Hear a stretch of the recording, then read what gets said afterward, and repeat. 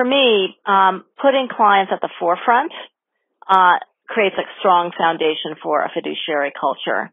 And at Schwab, we use the phrase looking at the business through clients' eyes.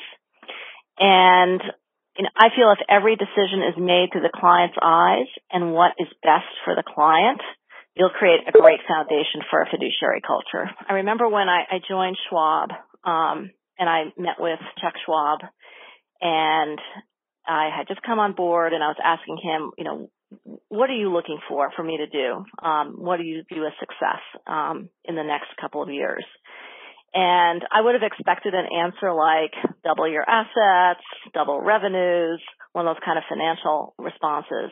And his response was run an ethical firm and do what's right for the client. If you do that, success will follow. And, you know, I actually thought that that was quite special. Um, and, uh, it is a way that the firm runs itself, um, really putting the client first. And if we do what's right for clients, um, there's a view that assets will come our way and success will follow. You know, if you go back 75 years, um, the people who could invest were the people who were well heeled, um, had the means, um, and really investing was not so available to the broad, um, the broad population. And by creating this structure and creating rules around it, um, I think it created a, a, trusted environment where people could broadly invest. And to me, it led to the democratization of investing.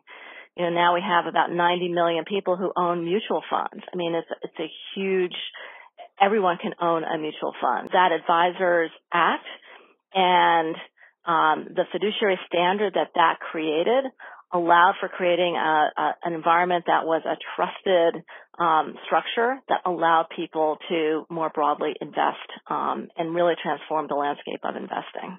I think that impact is huge on the economy because um, with that growth of that industry, it allows companies uh, to finance themselves through the stocks and bonds that those mutual funds invest in.